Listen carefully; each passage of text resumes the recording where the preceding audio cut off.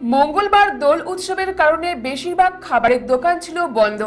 ফলে কোচবিহার সরকারি medical college ও হাসপাতালের মাতৃমাতে আগত রোগীর পরিজনদের ভোগান্তির শেষ ছিল না। এমতো অবস্থায় এক স্বেচ্ছাসেবী সংগঠন আস্থা ফাউন্ডেশনের পক্ষ থেকে মাতৃমাতে আগত রোগীর পরিজনদের বিনামূল্যে খাবারের ব্যবস্থা করা হয়। মঙ্গলবার দোল উৎসবের কারণে বেশিরভাগ খাবারের দোকান ছিল বন্ধ। স্বভাবত কারণেই কোচবিহার মেডিকেল কলেজ ও হাসপাতালের মাতৃবাতে আগত রোগীর পরিজনদের ভোগান্তি শেষ ছিল না।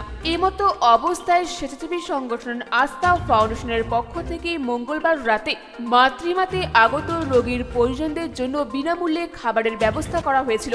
এদিনকার এই অনুষ্ঠানকে সাধুবাদ জানাতে উপস্থিত ছিলেন কোচবিহার কোতলি থানার আইসি সমজিৎ রায়। স্বভাবতই দোকানপাট বন্ধ থাকার কারণে খাবারের অসুবিধা থাকায় রোগীর পরিজনরা অত্যন্ত আপ্লুত স্বেচ্ছাসেবী সংগঠনের এই উদ্যোগে। কি অনুষ্ঠান কি করা হচ্ছে? আজকে আমাদের আস্থা ফাউন্ডেশনের তরফ থেকে মাতৃমার সামনে রুগীদের যে আত্মীয় স্বজনরা যারা আছে যারা রাত্রেবেলা এখানে থাকে কষ্ট করে খুব কষ্ট করে থাকে আজকে যেহেতু রং খেলা আজকে আমরা অনুভব করেছি যে আজকে কোনো দোকানপাট যেহেতু খোলা পাবেন না ওনারা তাদের খাবার খুব অসুবিধা দাঁড়াবে। সেই জন্য তাদের আত্মীয় স্বজনদের ফ্রি খাবার ব্যবস্থাটা আমরা করেছি। যাতে তারা আজকের দিনটা অন্তত খেয়ে থাকতে পারে।